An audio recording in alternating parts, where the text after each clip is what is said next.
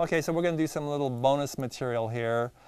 You wanted to, to talk about uh, the soul. You said you saw some of the previous shows and some of the answers you weren't really happy with. So, Right. how would you like to open this segment up?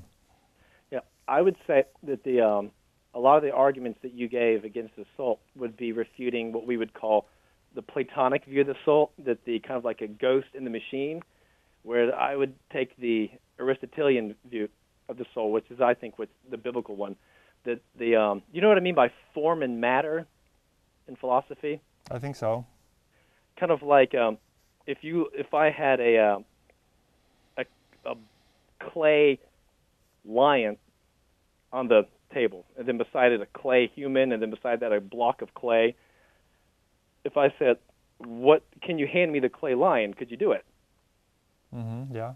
Yeah, you could. You wouldn't be confused and say, "I don't know what you mean," because all I see is clay, clay, clay. You would say, "Obviously, that clay is in the form of the lion." But we could take that same matter and then reform it into the shape of a human, or reform it into the shape of the block. So for each one, the matter is the same, but what would be different? The form, right? Yeah. Okay, and so the form is really there.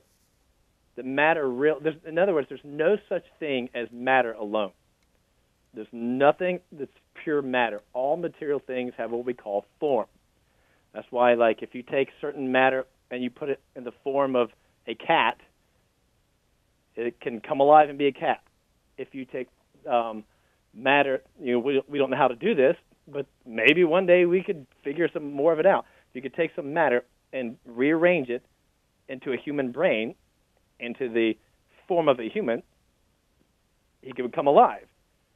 And so the matter is just protons, neutrons, electrons, but the form would be human. And so what we mean by soul is the form of a living thing. Like a rock has form, um, a chair has form, it's form and matter. So you So think you think rocks have souls then? No, it would have form. Okay. Form and matter. Uh, all material things have form. That's how we identify them. Okay. Like the form of the rock enters into your mind when I say rock. The form of the rock is in the matter's not in your mind. The form of it is. Okay. And so when we say soul in classical philosophy, whenever you have form and matter, and if it's a living thing, then we call it soul. So like an an animal, if somebody says, well, does an animal have a soul? Well, does it have a living form? Yes. Does an insect have a living form? Yes. Does a tree have a living form? Yes. So these are all what we call like there's a vegetative soul, animal soul, insect soul, human soul. In other words, all the soul is is the form of the body. And so the brain is immaterial in the same way that form is immaterial. Does that make sense? The brain is immaterial. You said. The, bra- the brain, I'm sorry, uh, both. The mind, I'm sorry, the mind is immaterial, but it is connected to the matter of the brain. That when you have brain matter, the form of the brain matter is what we would call the mind.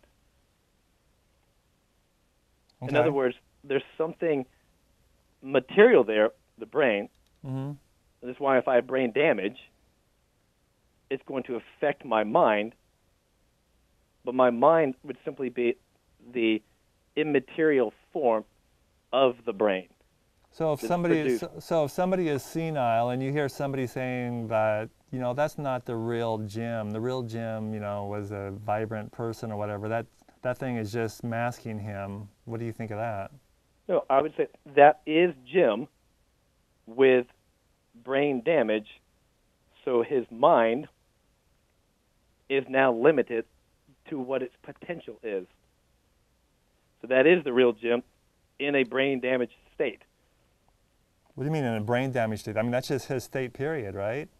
Yeah, but still, he could he could have the potential to have his brain possibly fixed. How? I mean, if we know how to fix it, There's nothing to fix though. He'd be a different person. well, he would still be the same person, but his mental capabilities would be different. Well, let me let me ask you. So, what about an infant, or uh let's say there's a natural miscarriage? There's a little, there's a fetus that dies. Is this a soul that goes to heaven? Yeah, well, that would be a uh, theological question there more than a philosophical one. That we have the the um, if it's a living baby, that uh, its soul would be the form of the baby. But I would say biblically, yes, um, its Im, uh, immaterial form can be is still sustained in the mind of God. Just like if you saw me, in some sense, my form is in your mind, but not in the living and active sense. But it's still there in a sense. Like, like you would you say that that the uh, mind is immaterial in any kind of way? Well, of course, it's immaterial as far as you can't, you know, measure it or something. It's, it's like, um, it's like you have a blender at home, and when you turn the blender on, there's electricity running through it, and it's doing something. You can call that electric flow. Like that's that's basically what the mind is for the the brain. The brain is activated, and it's it's doing something. Just like the the blender's, uh, you know, doing something. There's, there's you can't Yeah, say something you know immaterial you, to it. what's that? That there's something immaterial to it. It's like the two are there together. Well, there's something immaterial to the heart when it beats. It, uh, there's a circulatory system, and you know there's a blood flow and all that stuff. But you know, is blood flow immaterial? Well, it's just describing the action of blood. It's blood moving. It's doing the certain blood would be things. When the brain is operating, it's making brain waves. Right. What what the there's, there's- brain? there's this whole there's like this whole that arises that is actually immaterial. Um, that's why like uh, like you wouldn't say if you and I were talking, you wouldn't say that I'm only brain chemistry, and so the way that I'd get an idea would be you'd have to tweak my brain chemistry. Well, what do you mean? Of course, you're only brain chemistry. I mean, there's nothing supernatural going on. I don't think. Yeah, but, you would you would say that um, in order to put an idea in my mind, you don't believe you have to go physically tweak my brain chemistry.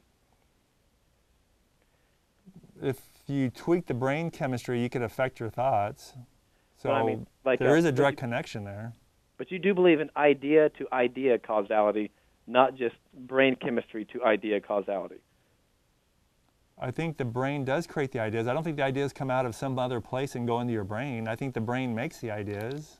Like, um, but if you say that there's only a material cause for my idea, Sure. then you could not cause an immaterial idea to come into my mind Why not?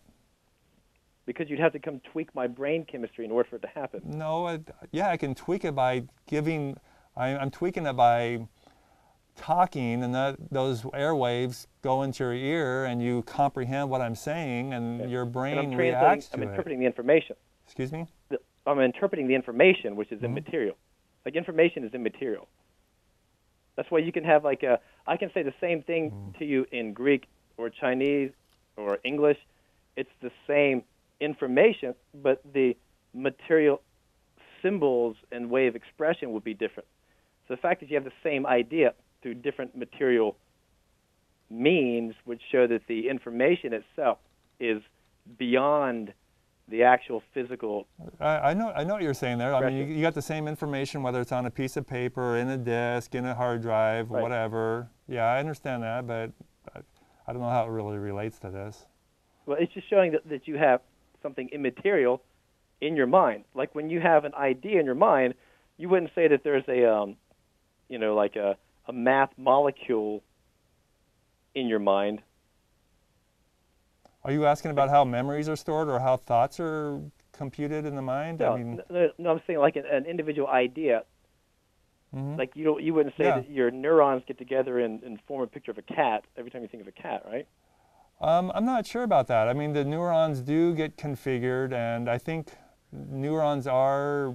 There are. I think I was hearing the other day about how neurons, like for example, when you first learn how to drive, everything is so difficult. You got to look at for other cars. You got to, you Yeah. know, if there's a radio on, and there's just so many things. It's a lot of work, and power. sometimes kids want to give up or whatever. But after you do it for a while, your brain is kind of programmed, and that's because of the way the neural nets are forming. Yeah, you actually create brain paths physically, and your brain actually gets altered like that. Um, but like, uh, you wouldn't say that a neuron is in the shape of a cat. Then you'd have to have another neuron. No, not in the shape of the a cat-shaped cat. No, of course, yeah, of course, it's not in the shape of a cat. Yeah, like like you would say that the laws of logic are immaterial, right? Sure, yeah, they're not made out of protons and neutrons and stuff. So how do I how do I get them in my material brain? They're con- they're just concepts. I mean, you know, animals have concepts too. Birds, dogs, Sure, yeah. gorillas. Uh, they got immaterial minds too. So in how do you how do you figure out which? We're, we're kind of out of time here, but how do you figure out which ones of these go to heaven and which ones don't? I mean, what's so well, special only about the humans, humans? are promised to go to heaven. What's that? Only humans are promised eternal life. Although you know, hopefully my dog will be with me. are you a dog guy or cat guy? Uh, Or neither? dog, if I had to be one. Good for you. So okay, well, we're out of time on that one. Okay. Is, is there any one? I'll give you a few seconds here if you want to summarize and make a point on on this.